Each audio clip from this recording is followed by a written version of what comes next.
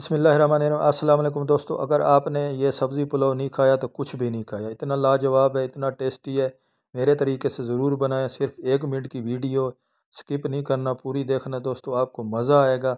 चलो शुरू करते हैं अपना सब्ज़ी पुलाव बनाना। सबसे पहले आपने तेल लेना है। तेल में आपने खड़े मिसाले डाल देने हैं। खड़े मिसाले डाल के एक मिनट भूनना है। उसके बाद एक प्याज डाल देना है, फ्राई करना है। लहसुन अदरक डालना है।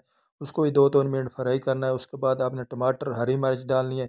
उसको भी अच्छे से फ्राई करना है, अच्छे से फ्राई करके मटर डालने हैं, गाजर डालनी है, उसको भी आपने अच्छे से फ्राई करने हैं, आलू डाल देने नमक डाल देना है, सुरख मरच डालनी है, ज़ीरा पाउडर डालना है, धनिया पाउडर डालना है, गरम मसाला डाल के अच्छे से इसको आपने फ्राई करना है, पानी लगा देना है, शिमला मिर्च डालनी है, शिमला मिर्च डाल के उसके बाद पानी लगाना है, पानी को जैसे बैल आ जाए, नमक डाल दें, नमक डाल के उसके बाद पानी को देख सकते हैं बैल आ चुका है, इसके बाद चावल डाल देंगे चावल डाल के इसके बाद अभी मैं बंद गोभी डाल दूँगा, जले दम के ऊपर है, दम बंद गोभी डालनी है। दम लगा दिया दस मिनट के लिए। आपका सब्ज़ी पुलाव तैयार है, वीडियो अच्छी लगे तो लाइक ज़रूर करना, सब्सक्राइब ज़रूर करना।